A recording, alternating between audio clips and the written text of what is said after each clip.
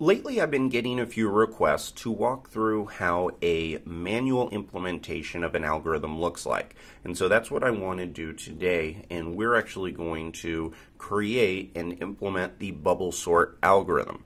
Now, if you do not know what the bubble sort algorithm is, is it's a very naive implementation of a sorting algorithm. It's very slow and it's not something that you would ever use in a production environment. However, it is a great tool for understanding how algorithms work and how to do things such as array manipulation and a number of other very important tasks. So it's great for computer scientists. Just I would never suggest using it in the wild. I have given you quite a bit of less code than usual. Uh, in fact, all I've done is given you a test, but the test pretty much describes what we're looking to do. We're looking to add the bubble sort algorithm to the array class, and then we ensure that it properly sorts the array. And the way we're testing it is I have an array of integers here, and the expectation is if I call the bubble sort algorithm on the array, then it should equal the same set of values in the same order as if I just called the regular Ruby sort method on it. Now, if you've never done this kind of thing where you've added a method to a pre-existing class, then I think you're in for a treat. And before we actually get into how to do this with arrays, let me walk through the concept of monkey patching. So monkey patching is the ability to add or edit methods inside of pre-existing classes. And so let's not do the array first. Let's give a, more of a base case example. So with the string class, you may know that the string class has the reverse method on it. So the reverse method, if I do something like my string and then call reverse on it, this actually will reverse all of the characters in my string. So like you can see right here, it's reversed each one of those characters. Now what you can do with monkey patching is you can actually change the way that this functions. So say instead of having it reversed, you could technically just have it output a bunch of gibberish. And now if I run this, you can see that instead of it doing its default process, it is actually just outputting what I put inside the method. This is one to give you a little idea that this is something that can be very dangerous, and monkey patching is something you have to be very careful with because you could have some unknown consequences. Per, imagine that you did this in the application, and another developer tried to call rever the reverse method later on, they would end up with some very different behavior, and that's just a very easy example. Usually, this uh, this ends up creating some bugs. So I don't I'm not recommending that you do this on a regular basis. It's more just to show that it's possible. Now, in addition to editing methods, you also can do things like add new methods. So I could create a method here called my cool method, and inside of it, probably be helpful if I did something inside of it. Uh, inside of, I'm just going to say, hey there, and then end. There we go. Okay, so now what I can do is even though I have not done anything in terms of, you know, created a new class or done anything like that, because I opened up the string class right here, this new my cool method is actually available to it. So I can type in my cool method, and now if I run this code, you can see that this prints out, hey there. And the reason I wanted to kind of go through this exercise was to give you some kind of a base example of what we need to do with the array class. So notice how here I'm calling my cool method on the string directly, which means that I have successfully added this my cool method to the string class, at least for this file. And that's exactly what we need to do here. So whenever you want to have the ability to do something like this, where you can call a method on another class, then this is a great way of being able to update that. So I'm going to clear this off and also get rid of all of our example code here. And now let's talk about implementing bubble sort. So here first thing we're going to want to do is implement the array class. So we're going to open up the array class, and now inside of this, we're going to create a new method. So this is going to be def, and I want to make sure it has to be spelled exactly like that, just like I have right here, or else it'll throw an error in the test. And so now with this in place, let's talk about what bubble sort needs to do. So the very first thing this is going to do, and I'm going to go with just pure programming. We're not going to use any built-in sorting mechanisms from Ruby. So this one's going to take a little bit longer to write out, but that's what some of you have been asking for, so I want to give that to you.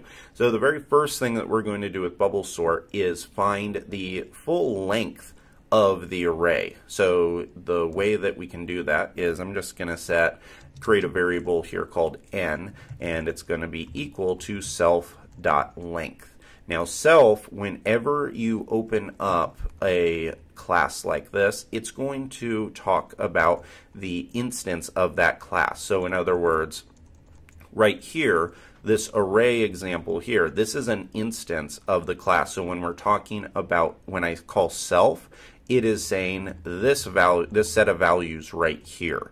And if I had a different array with three values, then it would mean that array. Self always just references the instance that the method is being called on. So in this example, it's going to be one, two, three, four, five, six, and 7. So n is going to equal 7 right here. Now that we have that in place. And the reason why we need to have that is we need a way of keeping track of how long the array is because bubble sort needs to know that so it knows how many times to iterate through.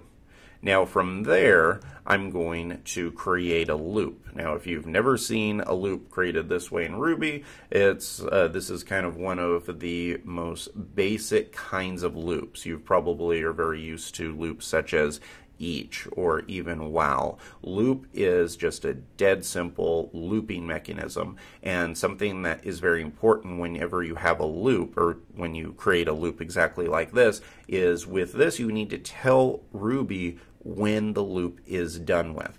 With each, it makes it really nice and easy because each counts how many times that it's going to iterate and it doesn't you don't have to manually tell it when to stop it just stops whenever it's done iterating over the collection with loop if we didn't tell it when to stop it could just go on forever and what that means in computer terms is that it would create an infinite loop and it would just crash the program. So that's something that you don't want to do. So the first thing we need to do is we need to create some type of value. It's called a sentinel value, and that is a value that is going to tell the loop when to stop.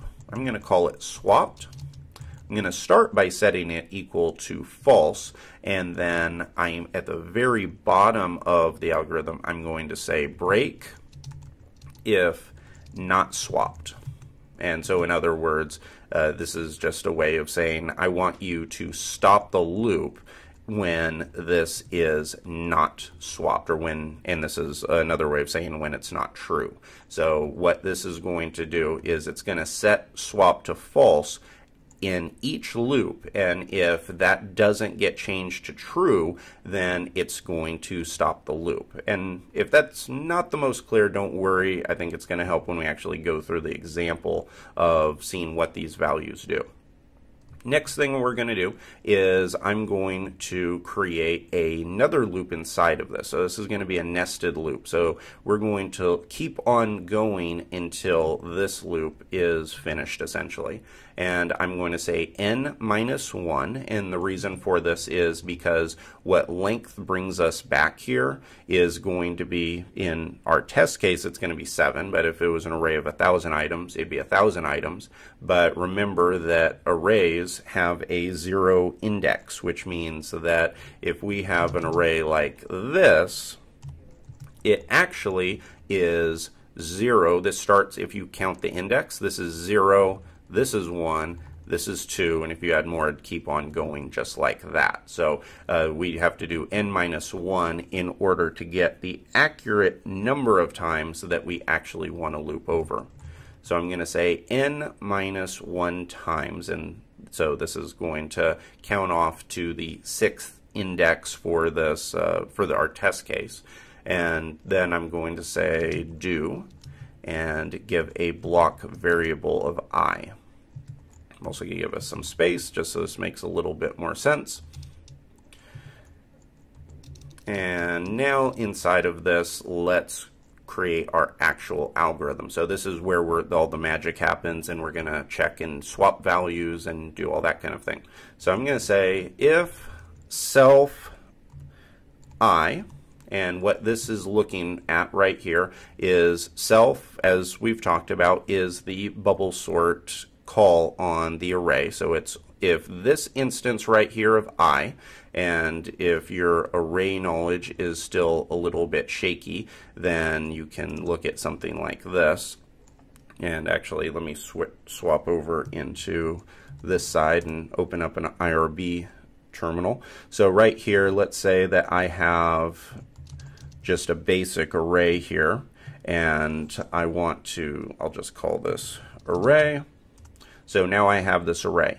If I want to select the first item in this array, then I would do array brackets 0, and that'll grab me the first one. If I want to get the last one there, I can do 2, that'll get me the last one. So all that I'm doing right here is I am saying that if self I, and don't let the kind of the I terminology confuse you. That's exactly like what I am doing right here. All it's doing is it's grabbing the array and then it's passing in whatever that value is. Obviously, we can't hard code it with numbers. Instead, what we're doing is we're hard coding the value here. So, or we're bringing in the value dynamically. So we're saying, okay, if that current value of I is greater than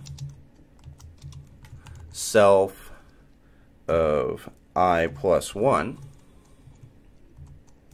And so what this means is, remember how I just talked about how the process works, where this is grabbing the current value, and then plus 1 means we're looking one step ahead. So the way bubble sort works, and this is why it's so slow, is because we're going to iterate through the system. We're going to look at 4, and we're going to look at 1. And we're going to say, okay, is 4 greater than 1? It is, okay, we need to swap these values. So it, the in this first time, when it iterates through the first time, it is going to swap the values because the self i is greater than self i plus 1. So all self i plus 1 is doing is it's looking at the next value in the array. So here, the way that we swap this is I'm going to say self i, and then self i plus 1 equals self i plus 1 self i.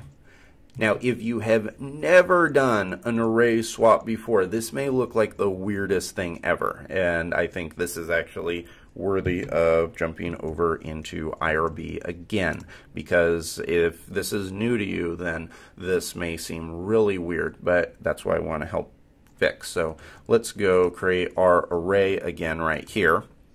And let's create some other variables. So let's say that we want to create one variable called x, and we're going to set x equal to the first element in the array. So we're going to say r0.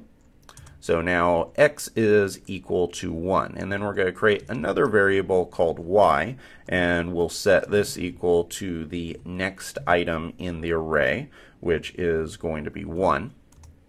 Okay, so now that we have those, we actually have the ability to swap these values. And the way you can do it is exactly the same syntax that I did over here, but I know that having all of these selfs in a line and these plus ones and everything like that is kind of confusing. But all we're really doing is we're just swapping the value. So right here, I can say y comma x. So notice how I've swapped the value. x was the first element, y was the next element. So I'm going to say y plus x and then equal array 0 and then array 1.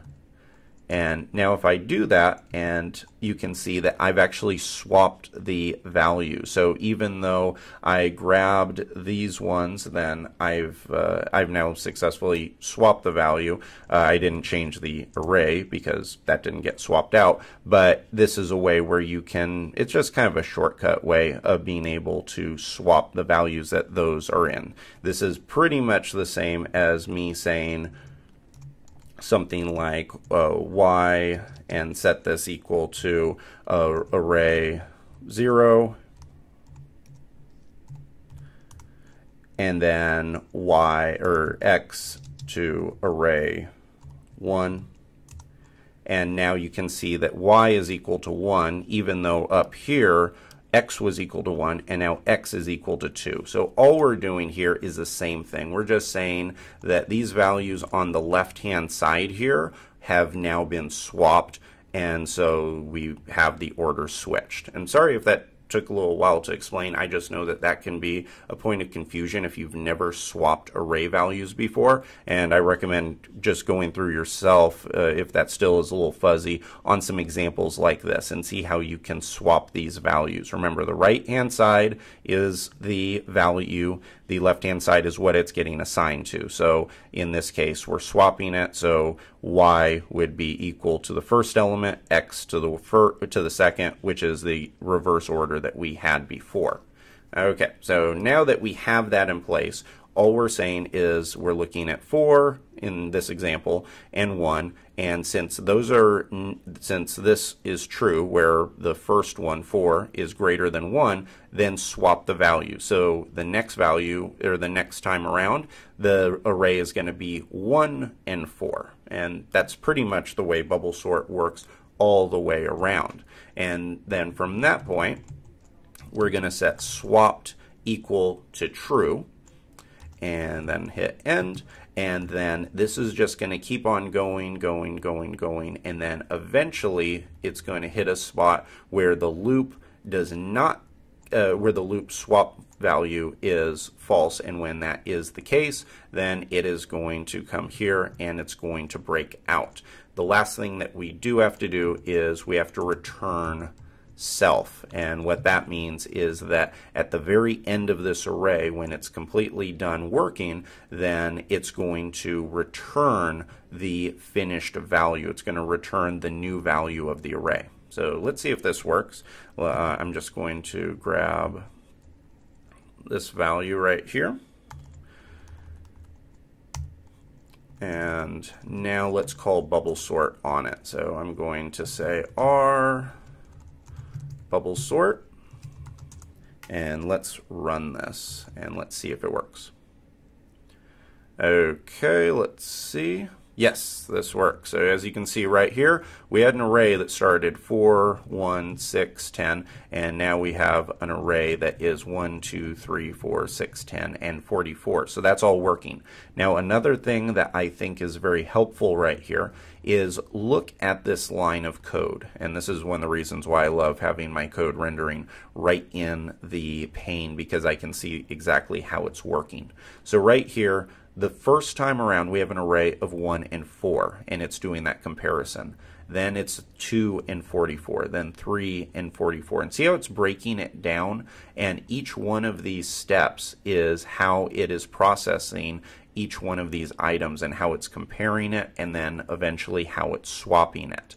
And I know it's not the most clear, but that also gives you a little bit of idea of what it's doing on this swap process. Now also take a look right here where you see all of these true false true false and all of these well, look, and you, this can help you kind of analyze what bubble sort's doing. One, it tells you how many comparisons that it runs. So even though you may think that you know this is just seven values, look at how many times that this loop ran, and it's because it needed to keep looping and performing these comparisons.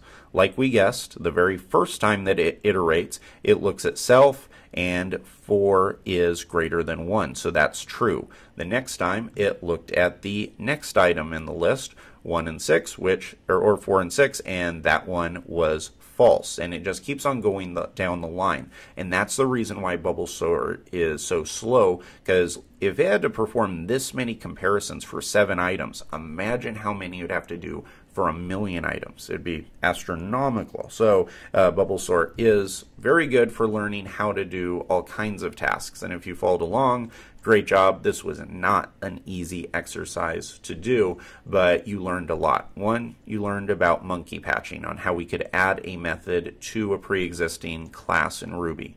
Then you learned about how to implement a full sorting algorithm called bubble sort. And then you learned about two different types of loops, just a regular bland loop and then also a times loop.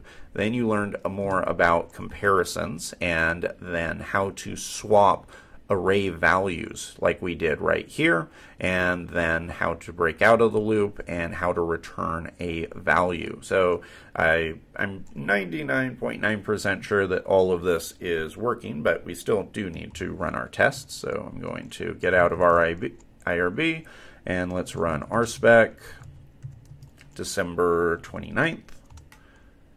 And you can see we have one example, zero failures. So great job if you went through that. That was quite a bit of code writing, but uh, it sounded like a lot of people were asking for some manual implementations of algorithms. So I hope you enjoyed it.